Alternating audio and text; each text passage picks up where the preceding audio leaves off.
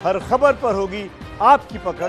Download कीजिए ABP live app बड़ी खबर आ रही है, वो ज़ाहिर तौर पर अच्छी खबर कमलनाथ खेमे के लिए नहीं है, सिंधिया के खेमे में 28 विधायक आ गए हैं। इस वक्त की बड़ी खबर आपको बता रहे हैं। बीजेपी दावा कर रही है कि हमारे साथ और विधायक जुड़ेंगे ये खबर।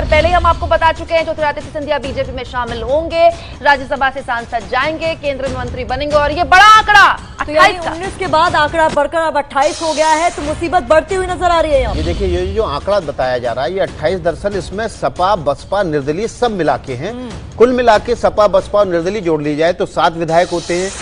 20 विधायक बेंगलोर में पहले से हैं, एदल सिंह कंसाना सुबह पहुँचे हैं, उनको मिला के 20 कांग्रेस के विधायक हो गए सात सपा, बसपा और निर्दलीय मिला दें तो 27 होते हैं। इसका मतलब यह है कि अब एक और ऐसा विधायक है जो कांग्रेस का टूट रहा है। कुल मिला के सिंधिया खेमे के 21 विधायक हो जाएँगे। जी हाँ ये स्थिति बीजेपी के लिए जितनी मज़बूत है कमलनाथ के लिए उतनी ही कमज़ोर लेकिन क्या एक बार फिर से कमलनाथ यहाँ वॉरियर की तरह निकल कर आएँगे?